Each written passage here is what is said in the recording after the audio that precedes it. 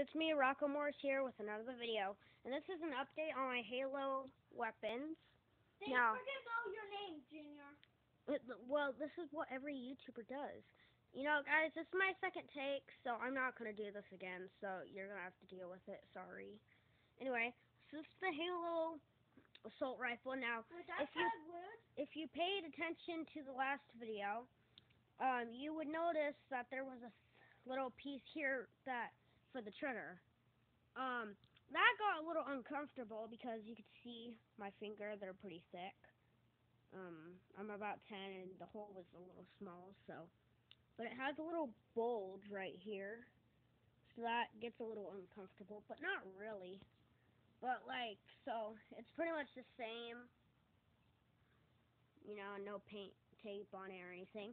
The Magnum, nothing really different. I think I trimmed it because I kind of trim my weapons because if you see here, um, if you can see, just like some of the cardboard overlaps, yeah, like right here.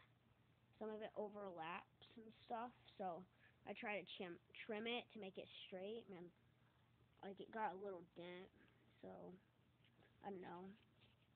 And then my newest addition. Actually, I'm working on a needler. Anyway, so anyway, my newest addition is the sniper rifle.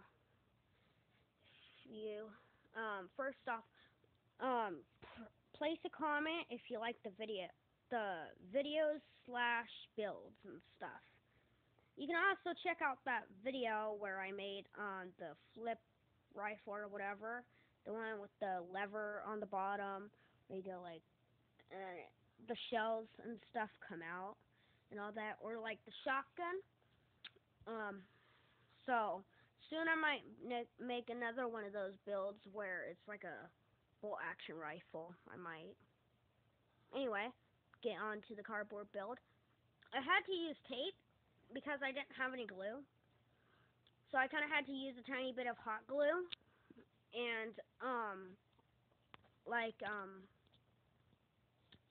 uh this blue tape. It's pretty weak tape and bad tape but it's good. It's decent at least for until I get maybe some black tape to put on the barrel or something maybe on the muzzle.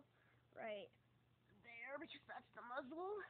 And then we got some bipods right here. We got a mag right here. If you can see this little sliver right here, that's where the mag starts. So kind of has a little line going through there. And then we have the thumb hole stock. You know, it has a little bit of a curve right here. You know, um, we have. Sorry about that. We have a little scope here, and I think we have you know, some detail, you know, kind of stuff. You know, it's the usual.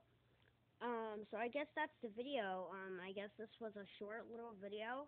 I'm probably gonna upload this the next day, so it'll probably be uploaded on Sunday. But I'm doing this on Saturday. So, see you guys. Bye.